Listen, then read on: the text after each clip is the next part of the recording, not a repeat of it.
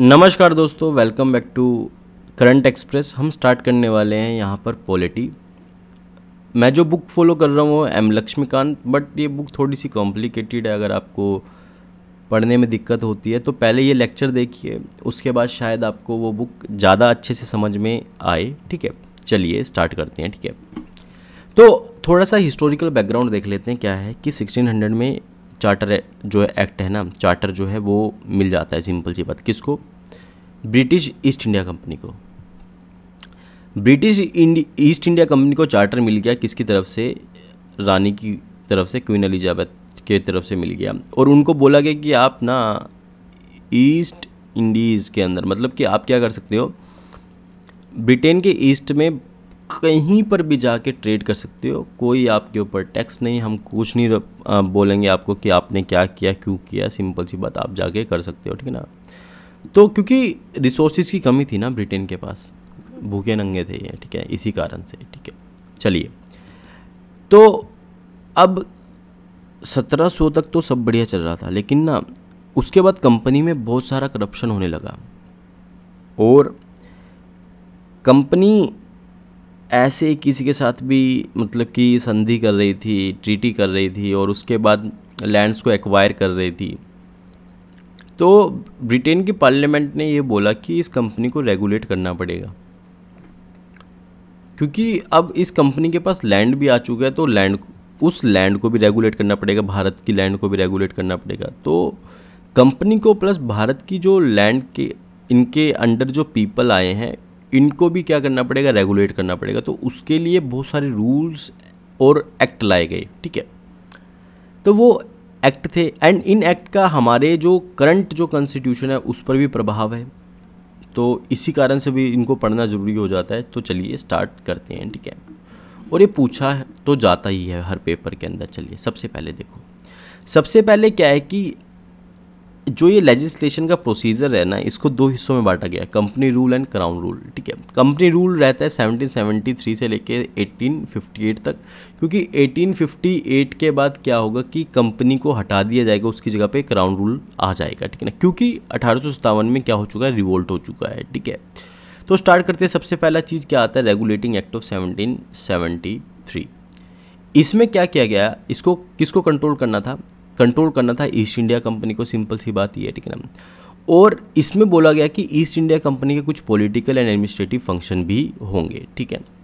और यहाँ से स्टार्ट होता है इंडिया के अंदर सेंट्रल एडमिनिस्ट्रेशन भैया इंडिया को कंट्रोल किया जाएगा सेंटर से। किसके द्वारा? गवर्नर के द्वारा किया जाएगा और गवर्नर ऑफ़ बंगाल के द्वारा किया जाएगा, ठीक है ना?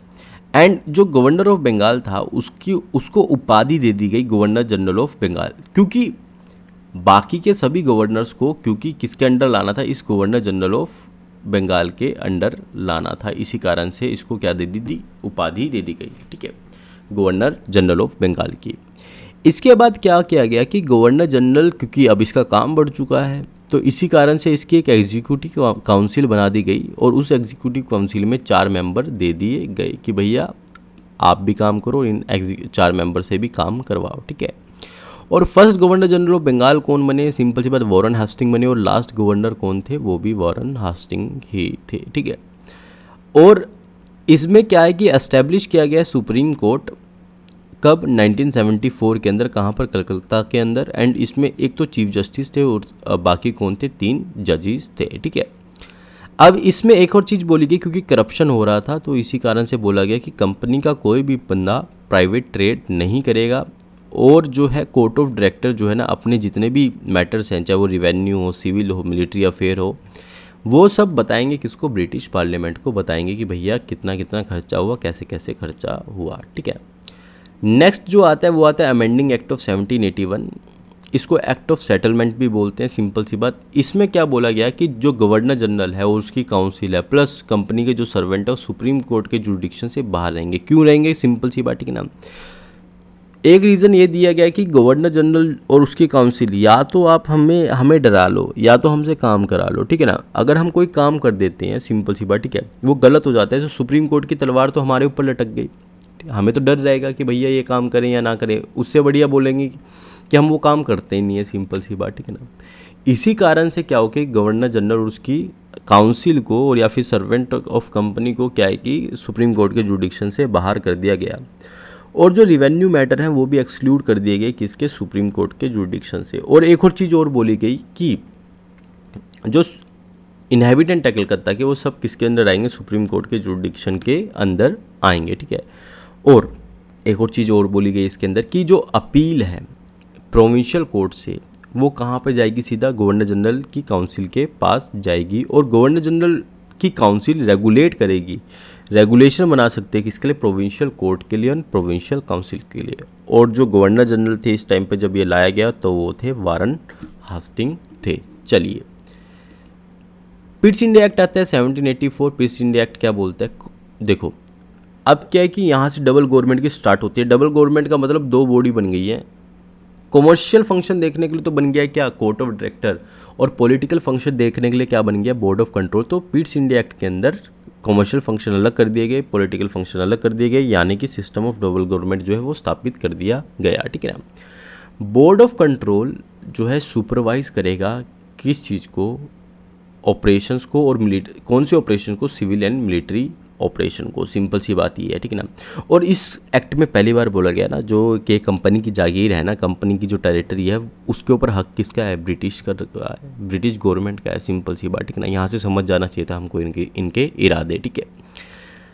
ब्रिटिश गवर्नमेंट जो है ना, उसका फुल कंट्रोल रहेगा किसके? कंपनी के अफेयर पे, अब पूरा कंट्रोल में। कंपनी को पूरा टाइटली कंट्रोल किया जा रहा है, क्योंकि बहुत ज़्यादा करप्शन बढ़ चुका था कंपनी के अंदर, ठीक है ना?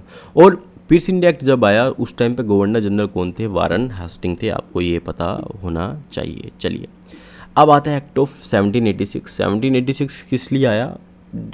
सबसे पहले देखो किस लिए आया। जो कॉर्नवेलिस जी है ना, उनको लाना था इंडिया के अंदर। तो उन्होंने बोला, मेरे, मेरी दो डिमांड है, उसको मान लो मैं इंडिया चला जाऊँगा, ठीक है ना? उन्होंने बोला सबसे पहले बात तो कि भैया, जो मेरी काउंसिल है ना, गवर्नर जनरल की काउंसिल है, अगर मेरा मन नहीं किया उनकी बात मानने का मेरा मन गवाही नहीं देगा उनकी बात मानने का तो मैं उनकी बात नहीं मानूँगा।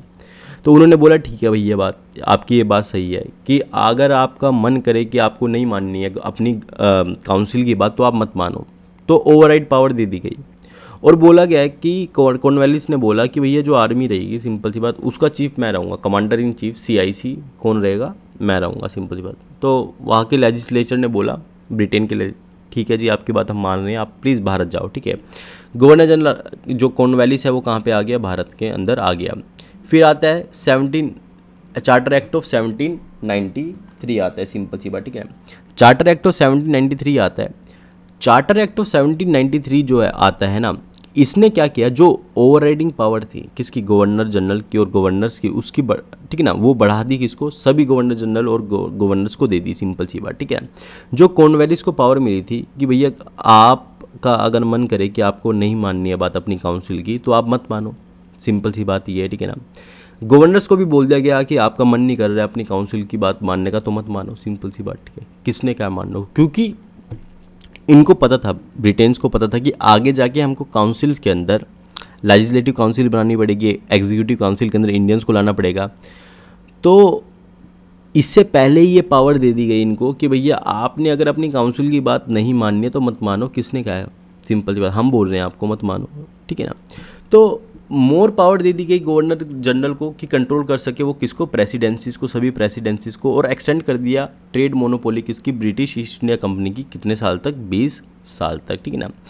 जो कमांडर इन चीफ मतलब कि जो मतलब कि कमांडर इन चीफ है ये बोला गया कि वो ज़रूरी नहीं है कि गवर्नर जनरल काउंसिल से ज़रूरी नहीं है कि वो गवर्नर जनरल काउंसिल से ही हो सिंपल वो कहीं और से भी हो सकता है, ठीक है ना? वो ज़रूरी नहीं है कि गवर्नर जनरल काउंसिल से रिलेटेड हो, ठीक है ना? और जो स्टाफ है सिंपल सी बात, ठीक है ना? जो स्टाफ है और सिंपल सी बात, ठीक है, वो कहाँ से पे होगा? वो होगा इंडियन रिवेन्यू से पे होगा किसका? ब्रिटिश गवर्नमेंट का और जो ये लग रहे हैं सिंपल सी बात, सब इंडियन रिवेन्यू से पैसा जाएगा, ठीक है ना? अब इस टाइम पे गवर्नर जनरल कौन थे? सिंपल सी बात, वो थे जॉन शोर थे। चलिए नेक्स्ट एक्ट पर चलते हैं। नेक्स्ट एक्ट क्या बोलता है? Charter act of eighteen thirteen क्या बोलता है? इसने अबोलिश कर दिया क्या? ट्रेड मोनोपोली लेकिन इसने अबोलिश तो कर दिया ट्रेड मोनोपोली किसके कहने पर? वहाँ पे हु अल्लाह मच रहा था कि सभी कंपनियाँ कंपनीज़ बोली लिबरल की सरकार बन गई थी वहाँ पर, ठीक है। तो वहाँ पे सभी कंपनीज़ बोल रही थी कि भैया ये, आपने ये मोनोपोली क्यों दे रखी है सिंपल सी बात ब्रिटिश ईस्ट इंडिया कंपनी को? हम भी तो हैं हम करेंगे ट्रेड भारत में जाके। तो ट्रेड मोनोपोली अबोलिश कर दी लेकिन ब्रिटिश ईस्ट इंडिया बोला भाई जनाब हमने आपको इतना लूट लूट के दिया इतना रीच जो है वहाँ के लोगों को किया है थोड़ा सा लिहाज रखो।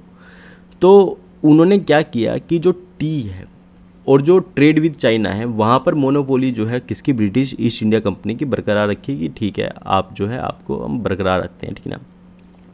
और इसमें बोला गया कि जो कंपनी की टेरिटरी है ना, उसके ऊपर किसका आधिपत्य रहेगा? ब्रिटिश का रहेगा। जो ब्रिटिश है ना, वो जो है, आखिरी में जो रूलर्स हैं, कौन है? ब्रिटिशर्स हैं सिंपल सी बात, ठीक है ना? कंपनी तो ऐसे ही रूल कर रही है, हमारे कहने पर रूल कर रही है, ठीक है? अब क्या है कि जो अलोक किया गया, किसको? क्रिश्चियन मिशनरीज को। अब क्योंकि ये मानते थे वाइट मैंस बर्डन में। वाइट मैंस बर्डन क्या बोलता है कि भैया, ये जो जितने भी डार्क कलर रेसिस हैं या फिर कलर्ड रेसिस हैं, ये सभ्य नहीं है, सभ्य तो हम हैं।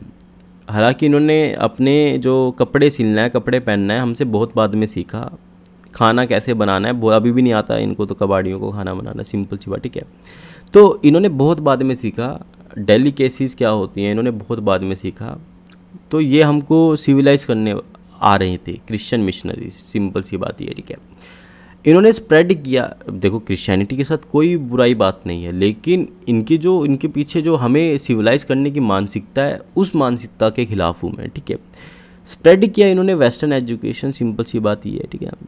वेस्टर्न एजुकेशन का मतलब ये नहीं है कि हमें बढ़ के पढ़ा दिया, हमें एनलाइटन कर दिया, नहीं। इन्होंने इतना ही पढ़ाया हमें जितना इनको ज़रूरत थी सिंपल सी बात। इनको कलर की ज़रूरत थी और इन्होंने हमें, हमारी एजुकेशन सिस्टम को कलर वाला ही बनाया, ठीक है ना? आज भी इस आज भी जो हमारा एजुकेशन सिस्टम है, वो इसी बात का प्रूफ है कि हमारी एजुकेशन सिस्टम पे एनालिसिस पे कम और क्रैमिंग पर ज़्यादा ध्यान दिया जाता है। नंबर्स को रटने पे ज़्यादा ध्यान दिया जाता है, ठीक है?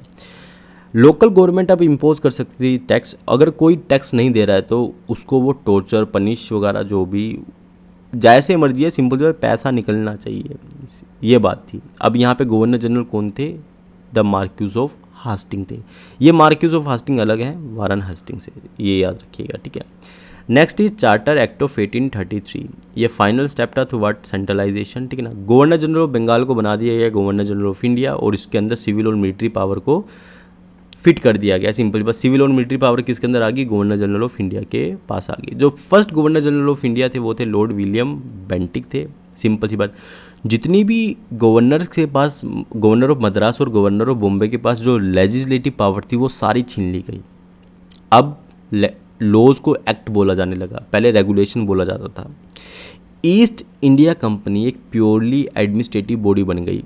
कहाँ वो कमर्शियल बॉडी थी, अब वो हो गई प्योरली एडमिनिस्ट्रेटिव बॉडी बोला गया कि हम ना ओपन ऑफ़ ओपन कंपटीशन जो है सिविल सर्विसेज़ में जो है, वो इंट्रोड्यूस करेंगे। लेकिन कोर्ट ऑफ़ डायरेक्टर ने बोला, भैया, अब तुमने हमारी जो है, वो ट्रेड भी छीन लिया। कम से कम हमारे बच्चों को यहाँ पे सर्विस तो करने दो। अगर आपने ओपन कंपटीशन कर दिया, ठीक है ना? अगर आपने ओपन कंपटीशन कर दिया, ये रेस ऐसी है इंडियन रेस ऐसी है कि ये फोर डालेगी। टॉप करेगी, सिंपल सी बात। हमारे बच्चे कहाँ सर्वाइव कर पाएँगे? ठीक है ना? ठंड इतनी होती है, पढ़ वैसे नहीं पाते, नींद वैसी आती है उनको, ठीक है? तो नहीं सर्वाइव कर पाएँगे। बात हमारी मानिए कि अभी थोड़ा सा इसको डिले करिए, हमारे बच्चों को थोड़ा सा बनने दीजिए सिविल सर्विसेज़ बनने दीजिए, ठीक है ना? अब 20 साल तक वेट किया गया तो चार्टर एक्ट ऑफ़ 1853 आया।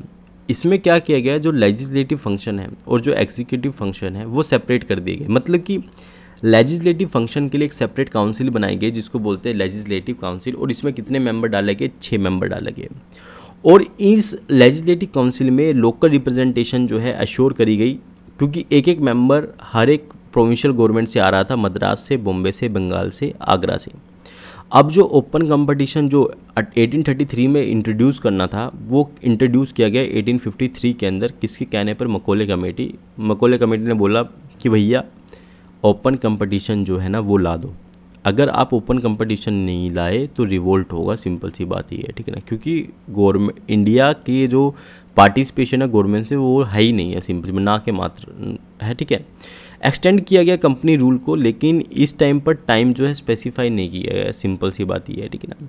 और जो गवर्नर जनरल ऑफ़ इंडिया थे, वो कौन थे? डल हाउजी थे।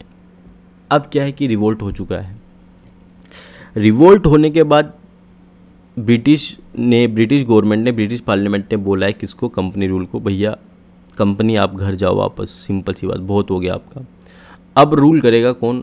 सिर ड्रेस डायरेक्टली रानी करेगी डायरेक्टली राजा करेगा ब्रिटिश क्राउन करेगा। तो रॉयल जो किंग होता है उसके लिए इस्तेमाल होता है रॉयल और किंग का जो नीचे काम करता है उसको बोलते हैं वाइस रॉय तो यहाँ से एक उपाधि निकली वाइस रॉय की उपाधि। सो so, जो गवर्नर जनरल ऑफ़ इंडिया था, उसको बना दिए गए viceroy and governor general of India और शॉर्ट टर्म में हम बोलते हैं viceroy of India, simple सी बात, ठीक ना? अब एक एक्ट आता है, गवर्नमेंट ऑफ़ इंडिया एक्ट 1858 अब यहाँ पर हमको सपने दिखाए जाएँगे। बोला जाएगा, भैया, रोड ऐसी बना दी जाएगी आपके यहाँ, आपने सोची ना होगी। भैया, आपको इतनी लिबर्टी दे दी जाएगी, आप हमारे मुँह पे चांटे मार लो, हम कुछ नहीं कहेंगे आपको। सिंपल सी बात, ठीक है ना? हम आपको ऐसा गवर्न करेंगे कि आपने देखा नहीं होगा इतना दूध की नदियाँ बहेंगी इंडिया के अंदर। लेकिन हुआ क्या? उल्टा हुआ। फेमाइंस आई। फिर वो अंडर डाला गया लोगों को। लिबर्टी जो है प्रेस की लिबर्ट बिल सिंपल सी बात है ना, जो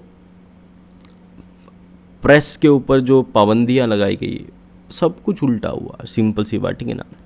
तो रिवोल्ट होता है 1857 का। इसको बोला जाता है एक्ट ऑफ़ गुड गवर्नेंस सपने दिखा रही है। हम देख भी रहे हैं, उस टाइम के लोग देख भी रहे हैं, हकीकत तो अब पता है हमें क्या है, ठीक है ना।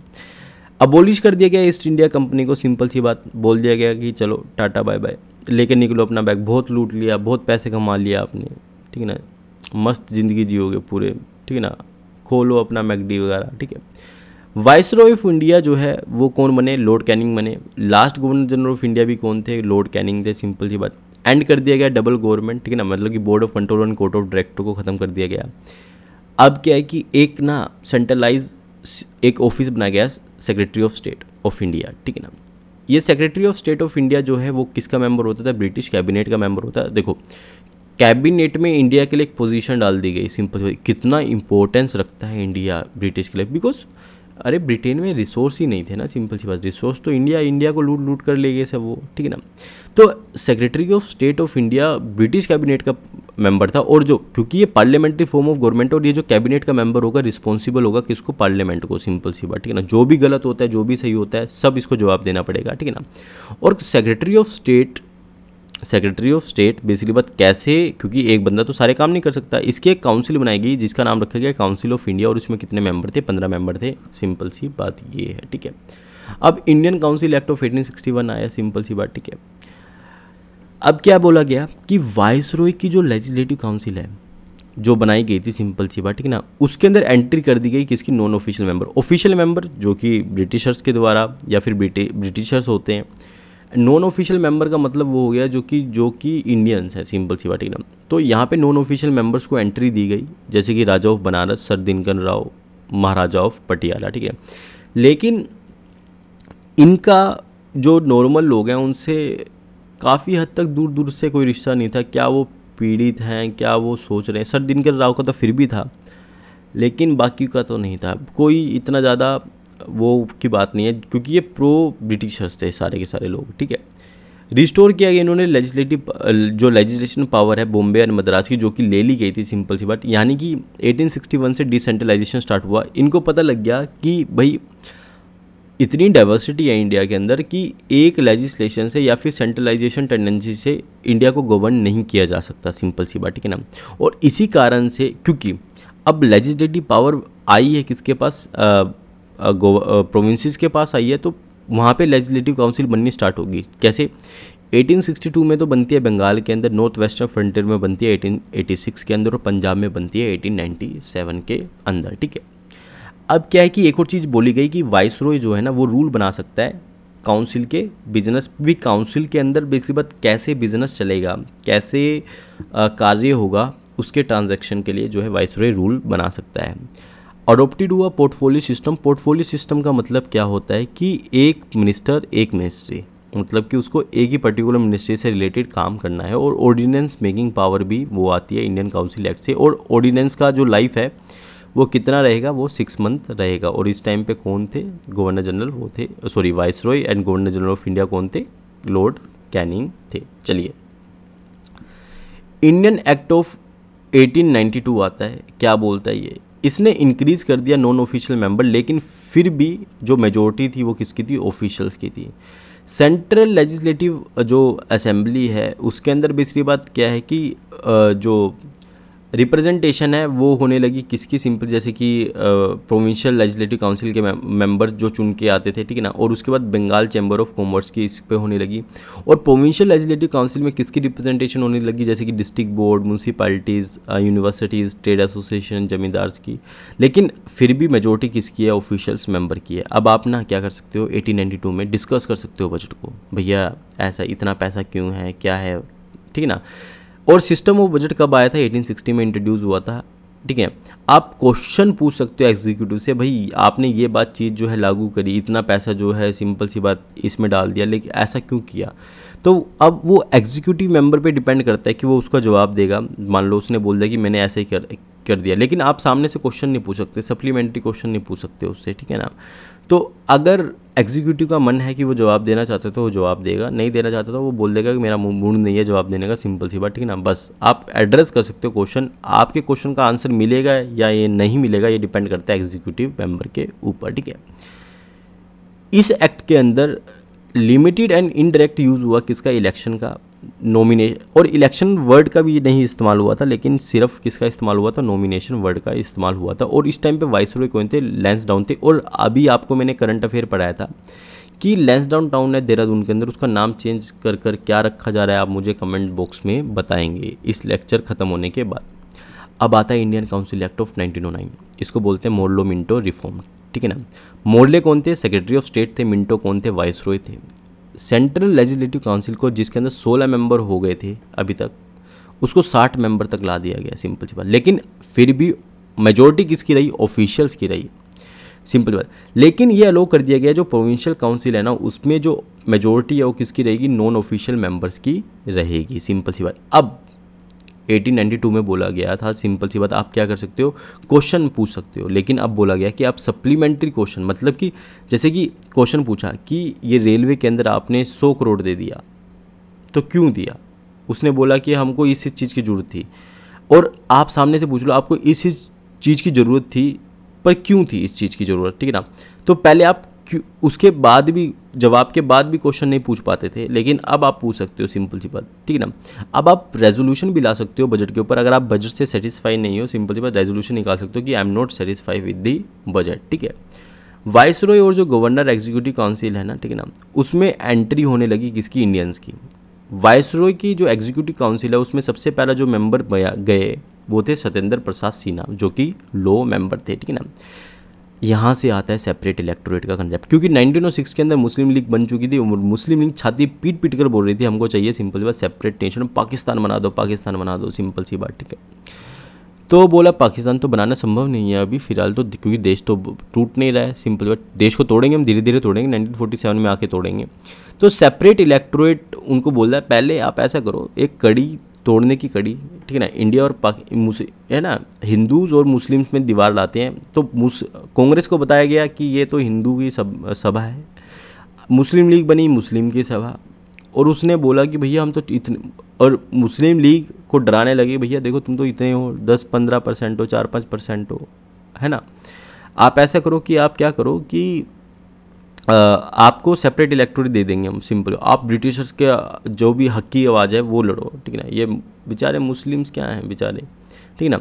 ये भी उनकी बात में आ गए। उन्होंने बोला, ठीक है भैया, हम ऐसा करते हैं कि सेपरेट इलेक्टोरेट मान लेते हैं। तो इस एक्ट के अंदर मुस्लिम्स को सेपरेट इलेक्टोरेट दे दिया गया। यानी कि यहाँ से पहली बार लीगलाइज हुआ कम्युनलिज्म इंडिया के अंदर। इसी कारण से लॉर्ड मिंटो को फादर ऑफ़ कम्युनल इलेक्टोरेट भी बोलते हैं, ठीक है?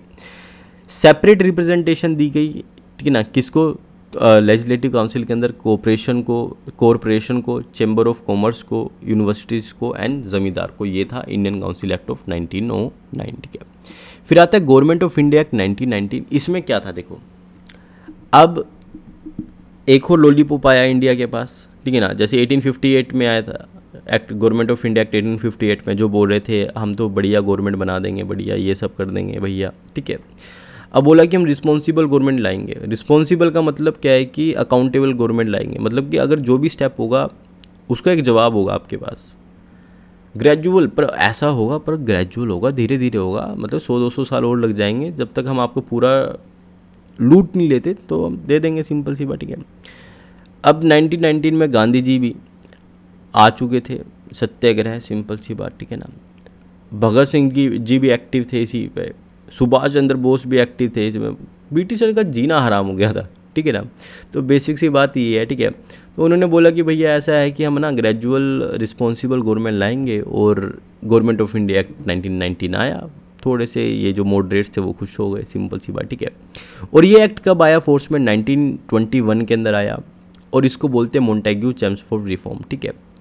अब इसने क्या किया, जो कम्युनल रिप्रेजेंटेशन जो कि मुस्लिम्स को मिली थी सेपरेट इलेक्टोरेट के रूप में, अब क्या है कि वो सिक्स के लिए भी आ गई इंडियन क्रिश्चियन के लिए भी आ गई एंग्लो इंडियंस के लिए भी आ गई यूरोपियंस के लिए भी आ गई रैक होने गया सबको तोड़ दिया मतलब कि सोसाइटी से, ठीक है ना? एक ऑफ़िस बनाया गया हाई कमिश्नर ऑफ़िस बनाया गया, ठीक है ना? और एक इसी एक्ट के अंदर सेंट्रल पब्लिक सर्विस कमीशन की जो है स्थापना रखी गई 1926 के अंदर, ठीक है ना? सब्जेक्ट्स को दो हिस्सों में बांटा गया central subject and provincial subject ठीक है ना? समझ में आया? तो और प्रोविंस लेवल पर क्या हुआ कि डायरकी इंट्रोड्यूस करी गई है? डायरकी का मतलब क्या होता है कि प्रोविंशियल सब्जेक्ट को दो हिस्सों में बांट दिया देखो सब्जेक्ट्स को दो हिस्सों में बांटा गया सेंट्रल एंड प्रोविंशियल और प्रोविंशियल के अंदर जो प्रोविंशियल सब्जेक्ट है ना, उसको भी दो हिस्सों में बांटा गया। तो इसी कारण से बोलते कि प्रोविंस के अंदर डायरकी आई, ठीक है? जो ट्रांसफर्ड सब्जेक्ट थे, वो तो दिए गए गवर्नर प्लस उसके मिनिस्टर को। और जो रिज़र्व सब्जेक्ट थे, वो दिए गए किसको? गवर्नर प्लस उसकी, है ना, जो काउंसिल थी सिंपल सी बात, उसको दिए गए, ठीक है ना? गवर्नर जनरल इन काउंसिल को, ठीक है? तो बेसिक सी बात क्या है कि ट्रांसफ़र सब्जेक्ट तो गवर्नर और उसके मिनिस्टर इस्तेमाल करेंगे और रिज़र्व सब्जेक्ट जो है गवर्नर जनरल वो अपनी काउंसिल ठीक ना, उसकी वजह से जो है इस्तेमाल कर सकता है, ठीक है? अब क्या है कि बाय कैम अब डायरकी कहाँ पर आई? प्रोविंस में आई सिंपल सी बात, ठीक ना? बाई कैमरलिज्म आ चुका था। क्या आ चुका था? बाई कैमरलिज्म जो इंडियन लेजिस्लेटिव काउंसिल है, जो कि बनी थी सिंपल सी बात, उसको दो हाउस के अंदर डिवाइड किया गया upper house and lower house जैसे कि अभी भी है अपर हाउस जो है हमारा राज्यसभा है लोअर हाउस हमारा लोकसभा है। वैसे ही government of India nineteen ninety पे क्या आया? दो हाउसेज बने इंडियन लेजिस्लेटिव काउंसिल मतलब कि एक तो अपर हाउस एक जो है लोअर हाउस यानी कि यहाँ से स्टार्ट होता है बाई का जो है वो चीज़, ठीक है। डायरेक्ट इलेक्शन जो है, वो इंट्रोड्यूस हुआ। लेकिन ये फिर भी था लिमिटेड फ्रेंचाइज पे, लगभग लगभग दस परसेंट के करीब करीब पॉपुलेशन जो होगी जिनके पास फ्रेंचाइज जो है मतलब कि राइट टू वोट जो होगा, ठीक है ना? जो छः मेंबर थे वाइस रॉय के एग्जीक्यूटिव मेंबर में जो छः मेंबर थे, उसमें से जो तीन होंगे अब बोला गया कि वो क्या होंगे? इंडियन होंगे अब सेपरेट कर दिया गया प्रोविंशियल बजट को किससे? सेंट्रल बजट से सिंपल सी बात, ठीक है ना? ये है मतलब कि डिसेंट्रलाइजेशन हो रहा है, ठीक है ना? और बोला गया कि हर दस साल बाद हम क्या लेके आएँगे? स्टेचुटरी कमीशन लेके आएँगे। दस साल बाद तो यानी कि 1929 में आनी थी स्टेचुटरी कमीशन और उस कमीशन का जो है, वो कमीशन कौन सी थी? साइमन कमीशन तो इसके बाद नेक्स्ट क्या आता है कि साइमन कमीशन जो है, वो आ रही है इस एक्ट के बाद। साइमन कमीशन आती है। आना तो था इसको 1929 के अंदर, लेकिन आती कब है? 1927 के अंदर। अपनी रिपोर्ट ये कब सबमिट करती है? 1930 में सबमिट करती है। साइमन कमीशन में कितने मेंबर थे? सेवन मेंबर थे सिंपल सी बात ठीक है ना। चेयरमैन कौन थे इसके? सर जॉन साइमन थे, और दूसरे मेंबर कौन थे? क्लीमेंट एटली हैरी लेवी ठीक है ना? Harry Levy Lawson Edward Cadogan Vernon Hartshorn George Lane Fox and Donald Howard ठीक है? रिकमेंडेशन क्या क्या थी इसकी? इसने बोला कि अबोलिश कर दो डायर की। सिंपल सी बात, वो भी कर दी गई प्रोविंस लेवल पर तो लेकिन सेंट्रल लेवल पर इंट्रोड्यूस करेगी, आगे आपको मैं पढ़ाऊँगा, ठीक है? एस्टेब्लिश किया गया फेडरेशन लेकिन ये कभी आया ही नहीं फेडरेशन क्योंकि जो, ये थे प्रिंसेस थे, और प्रिंसली स्टेट थे, इन्होंने आने से मना कर दिया फेडरेशन के अंदर। इन्होंने इसमें बोला कंटिन्यू रखना चाहिए कम्युनल रिप्रेजेंटेशन क्योंकि भारत की सोसाइटी डिवाइड जितना डिवाइडेड सोसाइटी रही उतना बढ़िया है सिंपल सी बात है। इसके बाद क्या है कि साइमन कमीशन के कहने पर ही क्या है कि थ्री राउंड टेबल बुलाई गई 1930, 1931 एंड 1932 कांग्रेस ने सिर्फ़ एक ही अटेंड करी बी आर अंबेडकर ने तीनों अटेंड करी है सिंपल सी बात ठीक है ना? मुस्लिम लीग ने भी तीनों अटेंड करी है बिकॉज़ मुस्लिम लीग तो चाहती थी डिवीज़न ठीक है ना? और जब साइमन कमीशन आया तो उस टाइम पे वाइस रॉय कौन थे? सर लॉर्ड इरविन थे, ठीक है? इसके बाद कम्युनल अवार्ड आता है 1932 के अंदर, ठीक है? कम्युनल अवार्ड कौन लेके आया? राम से मैकडोनल्ड है ना? ये इसको scheme of representation of minority भी बोलते हैं, ठीक है? सेपरेट इलेक्टोरेट एक्सटेंड कर दिया गया डिप्रेस्ड क्लासेस को सेपरेट इलेक्टोरेट लेकिन गांधी जी बोले मेरे होते हुए तो मैं ये नहीं होने दूँगा, सिंपल सी बात, ठीक है ना? तो गांधी जी चले गए आमरण अनशन पर यारावाड़ा जेल में, ठीक है? तो बी आर अंबेडकर से देखा नहीं गया, बी आर अंबेडकर जो है जेल में गए, यारावाड़ा जेल में गए, वहाँ पर उनसे पूना पैक्ट किया और बोला गया कि हम क्या करेंगे? हिंदू जॉइंट इलेक्ट्रोड जो है ना, उसमें से ही ना, जो सीट्स हैं ना, वो किसके लिए? ये जो स्केड्यूल कास्ट है बैकवर्ड क्लासेस हैं, इनके लिए फिक्स कर देंगे, सिंपल सी बात, ठीक है? तो बी आर अंबेडकर मान गए इस बात को और जब कम्युनल अवार्ड आया तो उस टाइम पे जो वाइस रॉय थे, वो कौन थे? लॉर्ड वेलिंगडन थे। चलिए। अब आता है गवर्नमेंट ऑफ़ इंडिया एक्ट 1935 अब बोल, इसमें बोला गया कि हम कम्प्लीटली रिस्पॉन्सिबल गवर्नमेंट भैया, ऐसी गवर्नमेंट अगर हम खांसते हैं तो इसके पीछे भी रीज़न देंगे। हमें बुखार क्यों हुआ, इसके पीछे भी रीज़न देंगे। सिंपल सी बात है ना। क्या ऐसा था? असली में ऐसा तो नहीं था, ठीक है? सिंपल सी बात ये है, ठीक है ना? कोई रिस्पॉन्सिबल गवर्नमेंट नहीं आ रहा था, सब ये धोखा था, ठीक है? इसमें बोला गया कि हम ऑल इंडिया फेडरेशन बना देंगे भैया। हसीन सपने दे ये इनके, क्योंकि कभी पूरा ही नहीं हुआ। प्रिंसली स्टेट ने बोल दिया, हम ज्वाइन नहीं करेंगे अब बना लो। ठीक है ना? 321 सेक्शन जो है इसमें लाए गए और 10 स्केड्यूल लाए गए इसके अंदर, ठीक है ना? और सब्जेक्ट्स को डिवाइड किया गया फेडरल लिस्ट में प्रोविंशियल लिस्ट में एंड कंकुरेंट लिस्ट में, ठीक है ना? अब, क्योंकि वो था सिंपल सी बात, ठीक है ना? साइमन कमीशन बोल गई थी कि साइमन कमीशन ने बोला था कि आप डायर की ख़त्म कर दो, क्योंकि डायर की बहुत घटिया जो है रोल प्ले कर रही है। तो उन्होंने क्या किया? डायर की प्रोविंशियल लेवल पर तो ख़त्म कर दी, लेकिन सेंट्रल लेवल पर इंट्रोड्यूस कर दी रिज़र्व एंड ट्रांसफ़र सब्जेक्ट के रूप में, ठीक है? रिस्पॉन्सिबल गवर्नमेंट जो है, बोला गया कि भैया प्रोविंसीज़ में रिस्पॉन्सिबल गवर्नमेंट आ गई। प्रोविंसीज़ में रिस्पॉन्सिबल मतलब समझ रहे हो? प्रोविंसीज़ में रिस्पॉन्स रिस्पॉन्सिबल गवर्नमेंट आ गई अगर वहाँ पे कुछ भी आ, मतलब कि क्या होता है देखो ध्यान से देखना कि भाई अगर कोई भी स्टेप ले रही है गवर्नमेंट तो उनको क्या करना है कि जवाब देना है। 1937 में इस चीज़ को इंट्रोड्यूस किया गया और 1939 में इसको डिसकंटिन्यू भी कर दिया। यहाँ से देखो ना इनकी दोगलापन देखो यहाँ से कि बोल रहे हैं कि हम ना कम्प्लीटली रिस्पॉन्सिबल गवर्नमेंट लाएँगे और जब प्रोविंसेस में इंट्रोड्यूस किया दो साल में इनका जीना हराम कर दिया। सिंपल सी बात ठीक ना तो इन्होंने क्या किया कि 1939 में डिसकंटिन्यू कर दिया उस चीज़ को। तो सोच रहे हो कि जब ये प्रोविंसेस पे डिसकंटिन्यू कर दिया इन्होंने लगाकर तो क्या ये सेंट्रल लेवल पर लाने वाले थे? नहीं लाने वाले थे सिंपल सी बात क्या जो रेजिडोरी पावर है वो किसको दे दी गई? वाइसरॉय को दे दी गई।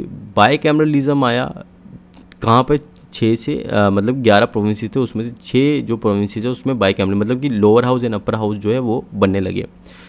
कम्युनल रिप्रेजेंटेशन फिर से एक्सटेंड कर दी गई सुप्रीम उसको स्केड्यूल कास्ट को दे दी गई वीमेन को दे दी गई लेबर्स को दे दी गई, ठीक है ना? जो काउंसिल ऑफ़ इंडिया थी ना वाइस रॉय की, उसको अबोलिश कर दिया गया। उसकी जगह पे आया टीम ऑफ़ एडवाइज़र ठीक है ना?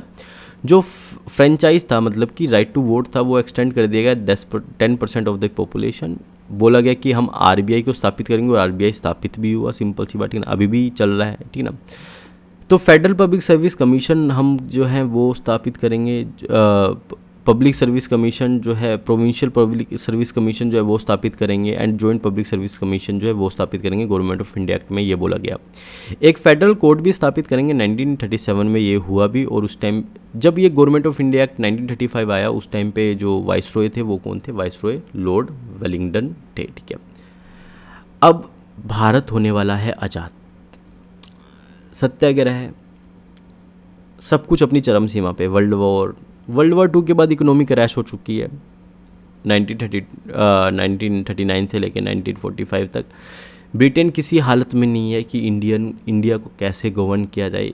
इसी कारण से उनकी लाचारी है कि उनको इंडिपेंडेंस एक्ट मतलब कि इंडिया को इंडिपेंडेंट करना पड़ रहा है, ठीक ना? सो इंडिया इंडिपेंडेंस कब आता है? अगस्त 15 1947 पाकिस्तान 14 अगस्त 1947 इन्होंने एक दिन पहले कर लिया, बोल रहे थे कि हम तो पहले इंडिया से आगे जाएँगे, इंडिया से इतने आगे गए कि पकड़ ही नहीं पा रहे इंडिया को, सिंपल सी बात, ठीक है? दो इंडिपेंडेंट डोमिनियन बने इस एक्ट के अंदर, एक बना इंडिया, एक बना पाकिस्तान।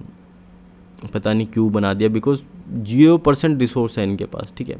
राइट टू अब इंडियन इंडिपेंडेंस एक्ट में क्या बोला गया कि दोनों डोमिनियन को राइट टू ससीड है। ब्रिटिश कॉमनवेल्थ से दोनों जो डोमिनियन बनेंगे इंडिया और पाकिस्तान, दोनों ससीड हो सकते हैं, लेकिन दोनों का ठीक है, हम आपके पार्ट रहते हैं सिंपल सी बात ये, ठीक है ना? कॉन्स्टिट्यूंट असेंबली बनेगी 1946 के अंदर सिंपल सी बात, ठीक ना?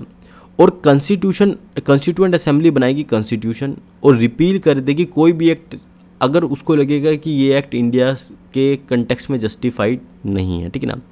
अबोलिश कर दिए गए सेक्रेटरी ऑफ़ स्टेट और ट्रांसफ़र कर दिए गए उसके सेक्रेटरी ऑफ़ स्टेट के फ़ंक्शन टू द जो secretary of state for commonwealth को ट्रांसफ़र कर दिए गए प्रिंसली स्टेट ये दिया गया कि प्रिंसली स्टेट जो है, या तो ज्वाइन करे पाकिस्तान को, या तो ज्वाइन करे इंडिया को, या तो रहे फ्री मैक्सिमम ने सोचा कि हम फ्री रहेंगे, लेकिन आखिरी में उनको ज्वाइन करना पड़ा इंडिया और पाकिस्तान को, ठीक है ना? जब तक कॉन्स्टिट्यूशन नहीं बन जाता, जब तक लॉज नहीं बन जाते, तब तक जो है गवर्नेंस जो है गवर्नमेंट ऑफ़ इंडिया एक्ट 1935 के हिसाब से चलेगी। Governor general of India plus governors.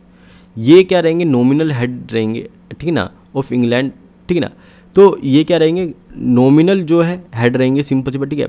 और क्या किया गया? जो इंग्लैंड ने ना अपने उससे टाइटल हटा दिया, सिंपल सी बात एम्पर ऑफ़ इंडिया का टाइटल हटा दिया, ठीक है? मेंबर ऑफ़ जो सिविल सर्विसेज़ हैं, सिंपल सी बात, ठीक है? जो मेंबर ऑफ़ सिविल सर्विसेज़ हैं, वो नॉर्मली वर्क करेंगे, उनको उतनी ही पैगार मिलेगी, सिंपल सी बात, उनको हटाया नहीं जाएगा, ये भी बोला गया। जो लॉर्ड माउंट बैटन है ना, वो फ़र्स्ट गवर्नर जनरल बने फ्री इंडिया के। फ़र्स्ट इंडियन गवर्नर जनरल कौन बने? सी राजा गोपालाचारी और फ़र्स्ट स्पीकर कौन थे? जी वी मावलंकर थे और फ़र्स्ट चेयरमैन कौन थे? एस राधा कृष्णन ठीक है ना? तो इंडियन इंडिपेंडेंस एक्ट से भारत को मिल जाती है इंडिपेंडेंस इसके बाद क्या है कि हमारी जो कॉन्स्टिट्यूंट असेंबली है ना, वो कॉन्स्टिट्यूशन बनाने लग जाती है। The making of constitution. Next lecture होगा the making of constitution of India. तो यहाँ पर ये जो चैप्टर है, ये यहीं पर समाप्त होता है। आई होप आपको सब कुछ समझ में आया होगा। देखते रहिए बार बार देखिए इस चैप्टर को। बड़ी इजी बुलेट्स पॉइंट में मैंने आपको एक्सप्लेन किया है इन सब एक्ट्स को। आई होप आपको समझ में आया होगा। आशा करता हूँ आप इस वीडियो को पूरा देखेंगे स्किप नहीं करेंगे। एंड ये भी आशा करता हूँ कि आप चैनल को लाइक करेंगे, शेयर करेंगे, सब्सक्राइब करेंगे। Piyush Thakur signing off. जय हिंद, जय भारत।